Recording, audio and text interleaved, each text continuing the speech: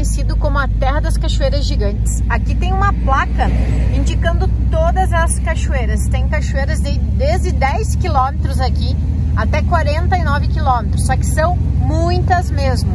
Outro detalhe bem interessante da região é que eles são os maiores produtores de feijão do Brasil.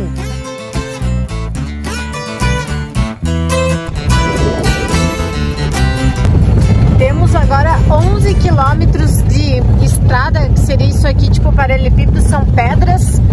É, para alguns é melhor chão, para outros isso aqui. Eu ainda prefiro chão, mas eu falei para Anny, é bem interessante a questão da prefeitura, da parte do turismo aqui, que eles investiram muito. Como eu falei, grande parte aqui tem asfalto e o restante é toda essa parte aqui de pedra. E pensa, dia de chuva, meu, super tranquilo para quem vem de outras regiões e geralmente para você acessar a cachoeira e tudo mais, quase sempre é estrada de chão e o trajeto não é muito bom. Que diferente isso aqui, os porcos do lado de fora aqui do terreno.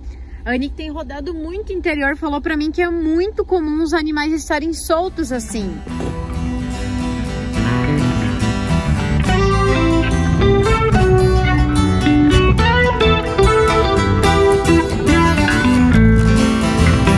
A gente tá chegando aqui no Ninho do Corvo, gente. Tudo isso daqui, ó, é plantação de erva mate. E eles têm cultivo embaixo das araucárias.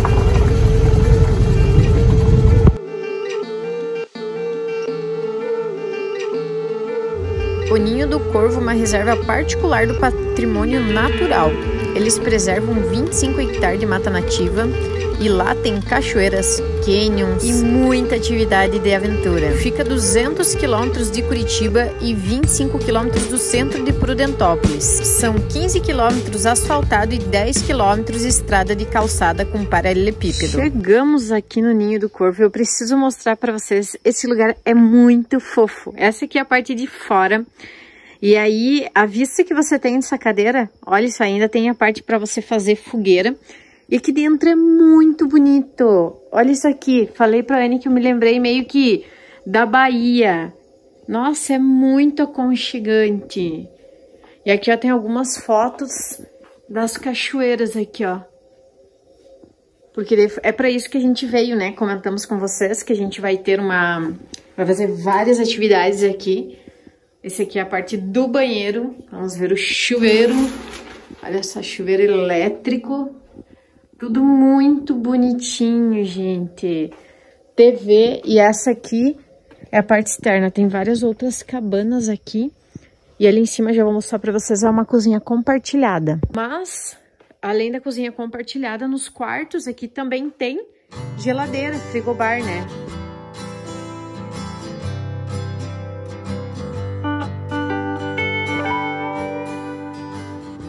E essa aqui é a parte que dá para fazer fogueira, e aí é uma fogueira compartilhada, né? Bem legal o espaço. Ali em cima não tá o pessoal, é a cozinha compartilhada do lado deles. E do outro lado ali é a nossa, que tem fogão, enfim. Se tem uma coisa que nós somos apaixonadas, é fogueira. A gente nem bem chegou aqui, já viu que tinha na parte de fora, né, Anny? É, já resolveu fazer, ainda nem escureceu, né? Que a gente gosta de fazer mais à noite, mas a gente já fez a fogueira. É, aí fizemos um mate aqui, olha que legal, tem uma rede. Aí puxamos, na verdade, a mesa tava no canto. Já puxamos pra cá, pra gente ficar do ladinho da fogueira.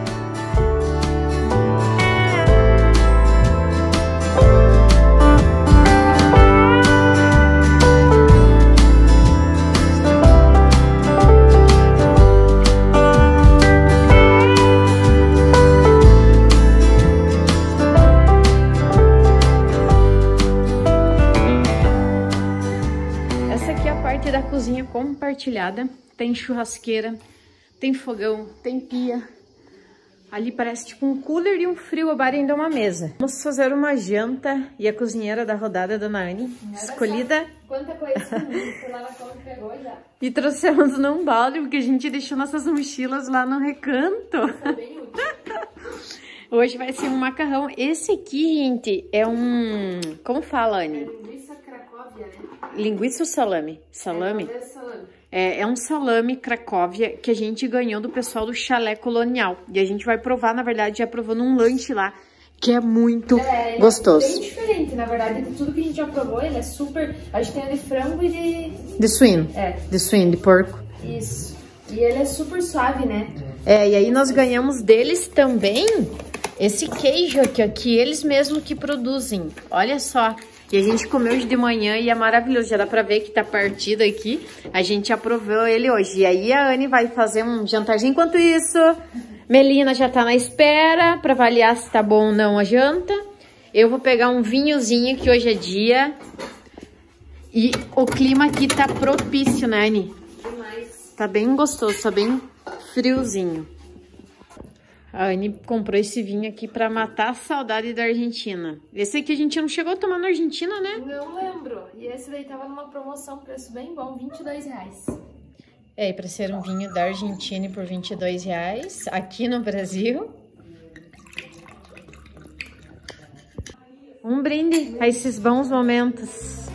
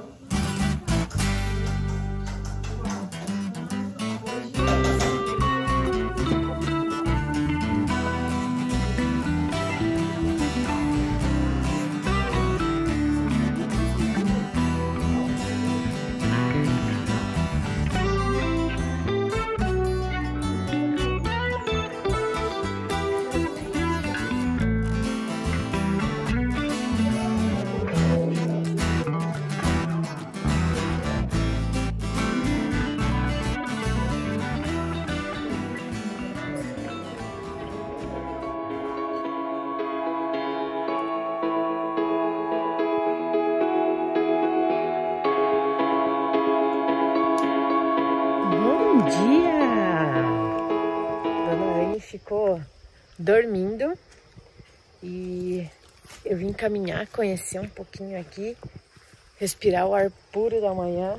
Eu e o Fred veio de companhia, coloquei ele na guia, porque mata fechada assim dá um pouco de medo dele fugir também. Até a moça aqui comentou que tem ouriço, que é um pouco perigoso deixar ele solto, ele sair pra mata.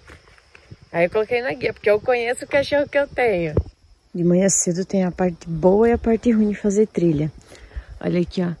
Não sei se dá pra ver. Deixa eu tocar aqui no celular pra ver.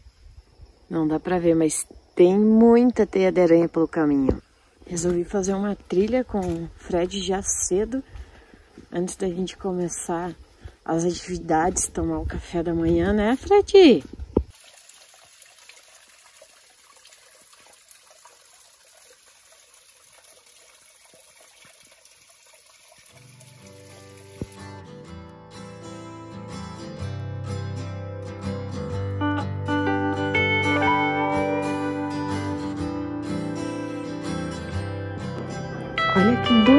Que é esse lugar aqui do café da manhã. Deixa eu mostrar pra vocês o que tem por aqui.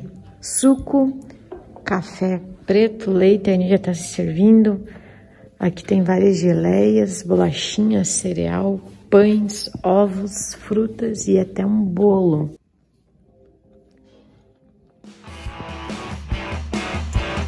O legal dessa tirolesa é que você pode ir duas vezes.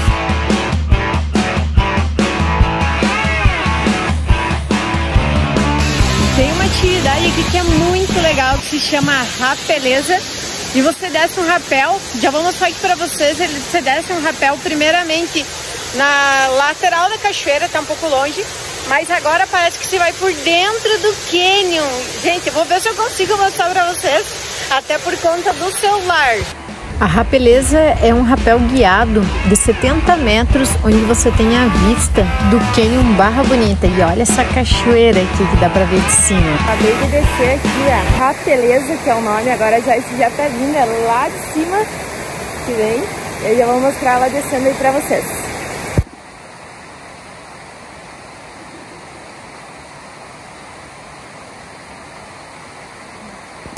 E é aqui que você desce. Olha que incrível essa vista. Lá de cima, de onde tá vindo a corda, a gente desce até aqui embaixo. A Ani já tá por aqui.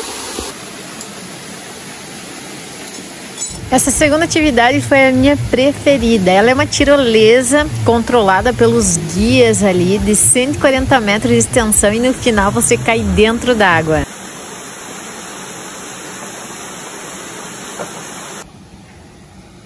E aí, como é que foi? Olha, eu esperava que ele ia molhar já. surpresa. E como que é ó, o rapel? É bem gostoso, ele não vem tão rápido, mas a parte de passar na água é sensacional.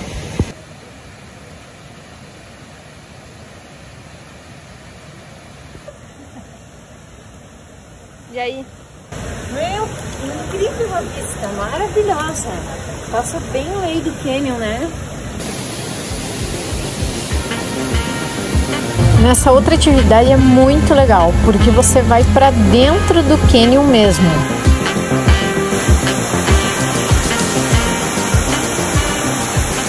Nos despedimos da nossa estadia do Ninho do Corvo e seguimos para o próximo destino.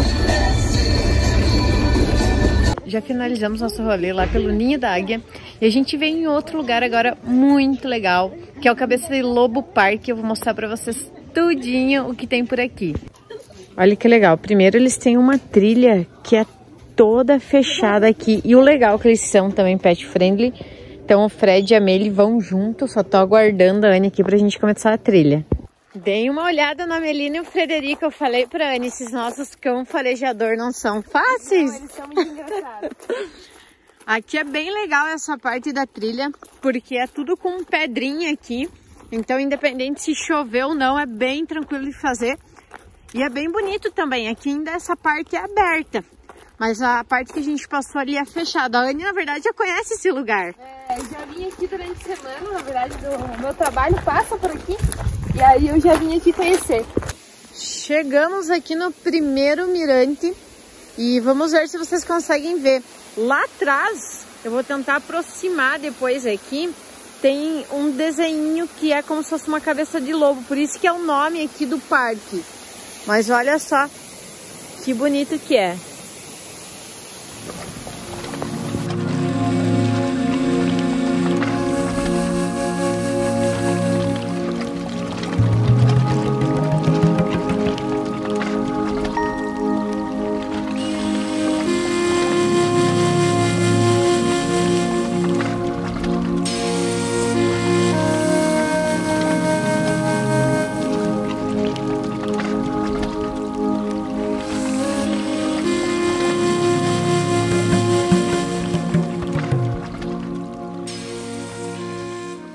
Chegamos no outro mirante e a cabeça de lobo é atrás dessa pedra maior aqui. Então, de, da onde desse mirante que a gente tá, só dá pra ver de lateral.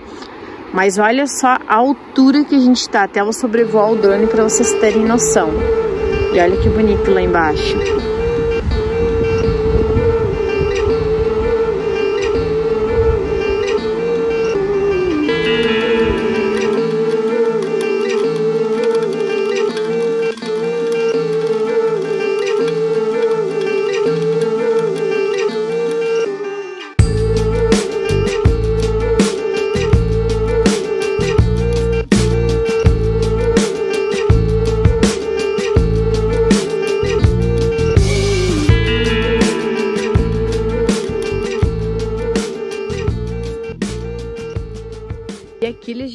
Espaço bem legal com um restaurante, uma lanchonete e tem comida ucraniana também que eu já vou mostrar para vocês. Aí é bem interessante que aqui na plaquinha que escrito seja bem-vindo, ele já tá escrito em ucraniano. Eu acredito que é Bitai Movak, é uma coisa assim, né? Que significa em ucraniano. A Anne tá sentada ali já com os dois Eles vão fazer a trilha junto com a gente, é legal que aqui é pet friendly também.